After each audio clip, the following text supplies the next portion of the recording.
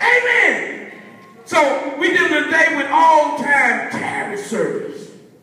Amen. Because somebody need to get hungry for the word of God.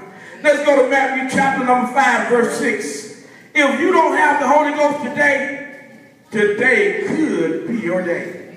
I ain't saying it's gonna be your day because you may not receive what I'm saying. There's some people out there in the audience, they may not be, that's but for the one that can grab, can gravitate to it. For the one that can hold on to it. For the one that can receive this word. Today could be your day. You can get the Holy Ghost today. And the only way you know you got it because you're speaking in tongues. Somebody say, I don't believe in all that speaking in tongues, baby. I'm sorry you don't believe it. Because it's in the word. I don't believe you need to live right. I don't believe you got to dress holy. What want to do? Baby, the Bible, this, if, last I checked, it says Holy Bible. Bible tells me to be holy for I'm holy. That means holy in the way I dress, holy in the way I walk, holy in the way I talk, holy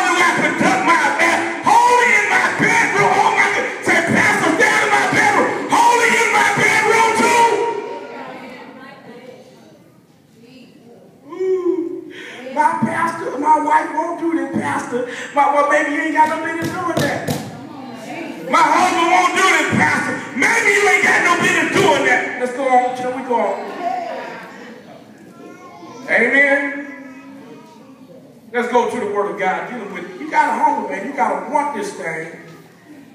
Let's go to the book of um, the book of John. Wait, what did we read, Matthew? Yeah, John, chapter number number six and verse number uh, chapter six and verse thirty-three. John six and verse thirty-three. Are we here yet? If you got it, please read it for the sake of time. We, I, God told me don't preach that long today. 6 and 33, please read it. Is he which cometh down from heaven and giveth life unto the world. Then said they unto him, Lord, evermore give us this bread. And Jesus said unto them, I am the bread of life. He that cometh to me shall never hunger. I said 33. I meant John 6 and 63. I'm sorry. 63. I'm sorry about that. It said it is the spirit. Go ahead and read it is the spirit that quickens, and the flesh profit nothing. The words that I speak unto you, they are spirit and they are life. So unless you're in the spirit, you ain't got that much. Unless you're in the Holy Ghost, you just having church. Uh, you just religious. You just you ain't really having church without the Holy. You just religious. It is the spirit that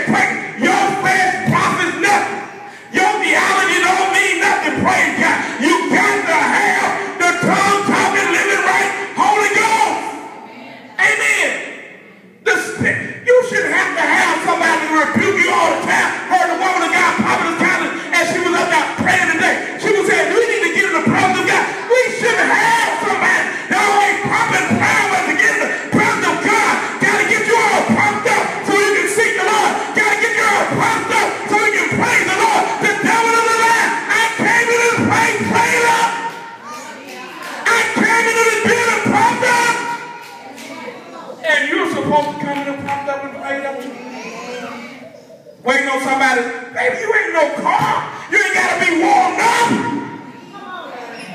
Warm me up. Stir me up. The Bible says stir up yourself. Stir yourself up. Build up your most holy faith by praying in the Holy Ghost. When the last time you prayed in the Spirit? When the last time you stopped begging God for this? When the last time you stopped begging God for that? I want, I want, I want. God ain't no Santa Claus. Hallelujah. Let's go to the Word of God.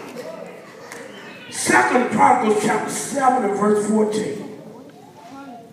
See, like I said, everybody can receive this. Everybody, people are looking at me like I'm out of my mind. I am out of my mind. I want the mind of Christ. That's on the mind. When I'm preaching the word of God, I ain't trying to please you. I ain't trying to impress you. Oh my goodness. I want to speak what thus said the Lord. Hallelujah. Second Chronicles chapter 7 and verse 14. Second Chronicles chapter 7 and verse 14. Amen. No sugarcoating today, baby. If my people, which are called by my name, shall humble themselves and pray and seek my face and turn from the wicked way, then will I hear from heaven. I'll forgive forgive their sin and will heal and will heal their land. That is a big word when you say if that means presupposing that somebody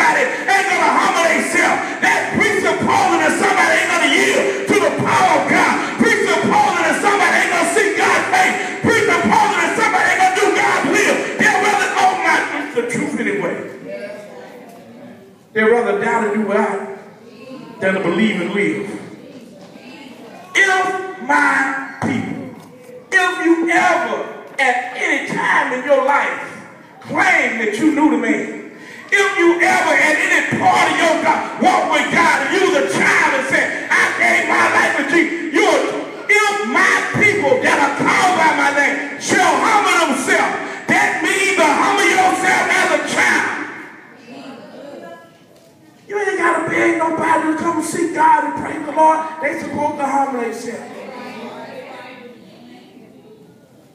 let me tell y'all something. I love you. And I say this in all truth. There's a lot of corpses that would love to come back to the house of God and seek the grace of God. If they could call from the grave and tell them, say, tell them folks over now, when Pastor Jones say,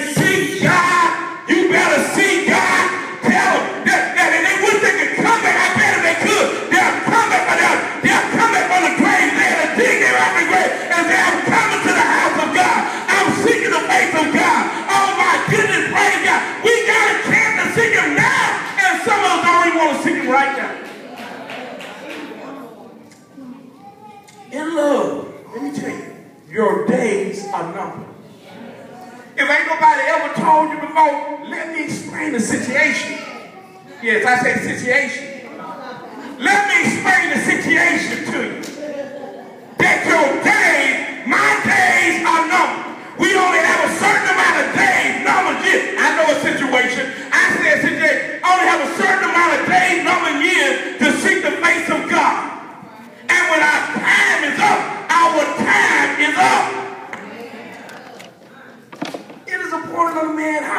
many to? One, two, three. If we raise you from the dead, from the grave, you still gonna die. If we pray for you, God bring you back, you still gonna die. If God heal your body, you still gonna die. If God bring you from the dead, you still gonna die. So seek God while you have a chance. Amen. But you got to humble yourself. When we have this service today, the seeking service the tarrying service, if you don't have the Holy Ghost, you need to up in your mind, I ain't leaving without it. Wait a minute. I ain't leaving without it. If you got the devil riding your back, you need to say, I ain't leaving the altar till the devil get off my back. And if you, and let me tell y'all, I love all y'all, but if you gotta go, you gotta go. I understand. We already have, uh, uh, we, we, you can go. You gotta go, go. But I want that need something from God and know that their time is limited. They need to be at this altar. What you waiting on? A heart attack, a stroke to take you up out of here? What, what, what, you waiting on? Or do you have faith to believe that God is going to give you another chance? He's giving you a chance right now. Today, if you will hear his voice, heart, not your heart. Amen? Not tomorrow, today. Amen? Hallelujah. Let's go real quick to Jeremiah chapter 29, verse number 11. Amen.